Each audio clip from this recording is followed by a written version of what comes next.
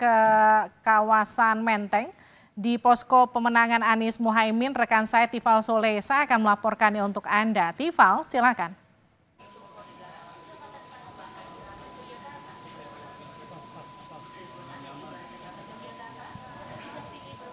Silakan Tifal. Saya tidak bisa mendengar suara Anda sebetulnya Friska, tapi yang bisa saya jelaskan di sini bahwa dari tim nasional pemenangan pasangan Anies Baswedan Mohaimin Iskandar ini tetap menantikan hasil uh, hitung atau rekapitulasi suara yang dilakukan Komisi Pemilihan Umum secara berjenjang untuk melihat lagi berapa perolehan suara yang didapatkan oleh pasangan Amin dalam pemilihan presiden 2024 ini. Saya coba menarik lagi ke belakang. Terakhir kali yang saya pahami dari juru bicara Timnas Amin, uh, Billy David menyampaikan kepada saya minggu lalu uh, tepat sehari sebelum hari kampanye terakhir uh, Pilpres 2024 kala itu lewat sambungan daring ia menyampaikan konfirmasi bahwa Timnas Amin menetapkan target untuk uh, Pilpres 2024 ini setidak-tidaknya bisa lolos putaran kedua dengan perolehan suara setidak-tidaknya atau minimal 35 persen. Lebih lanjut saya konfirmasi lagi kepada uh, Kapten Timnas Amin pagi tadi Muhammad Syawal Alaidrus yang tiba lebih dulu di markas uh, Timnas Amin ini untuk mengawal seluruh proses uh, rekapitulasi dan juga hasil hitung cepat dari beberapa lembaga survei. Uh, tidak dijelaskan secara detail hal apa yang menjadi perhitungan atau apa yang mendasari indikator apa sebetulnya dipakai oleh timnas Amin ini sampai akhirnya menetapkan angka sedemikian.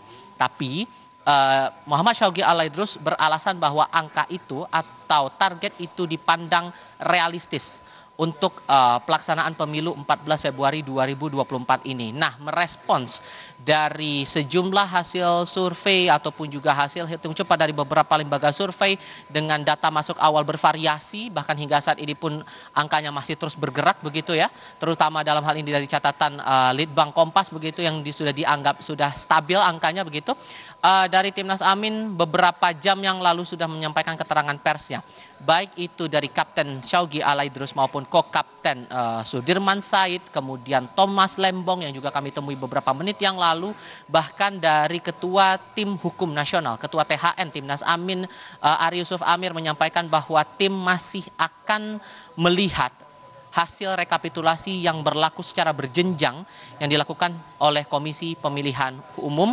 Maksimal sampai nanti kita ketahui hasil rekapitulasi akhirnya pada 20 Maret 2024. Hal lain yang juga sebetulnya menarik untuk dicermati adalah pernyataan dari Ari Yusuf Amir. Tadi sempat ia sampaikan bahwa ada uh, potensi kecurangan yang dideteksi oleh tim hukum nasional atau THN uh, Timnas Amin dalam rangkaian pencoblosan ataupun juga pemungutan suara 14 Februari 2024 ini.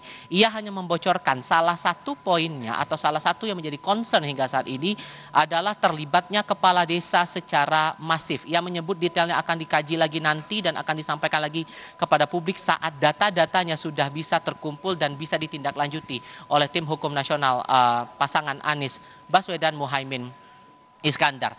Uh, Anies Baswedan juga beberapa menit kemudian setelah uh, keterangan pers dari perwakilan Timnas Amin juga menyampaikan bahwa hasil hitung cepat dari beberapa lembaga survei ini tidak serta-merta dianggap begitu, tidak serta-merta menggambarkan hasil rekapitulasi akhir sehingga pernyataannya sejak pertama kali ia tiba di markas Timnas Amin hingga terakhir kali sebelum meninggalkan Jalan Diponegoro 10 Menteng Jakarta Pusat yang menyampaikan kita tunggu saja. Itu penegasan yang berkali-kali diutarakan oleh Anies uh, Baswedan.